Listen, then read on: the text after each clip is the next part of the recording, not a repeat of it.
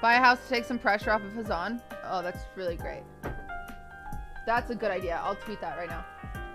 Hey guys, just thought you should Sub for Swift. No, I just bought a four million dollar house in Hollywood.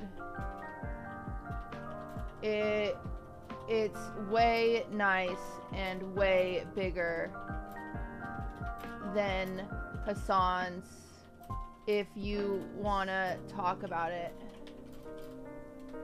I don't know. Up to you though.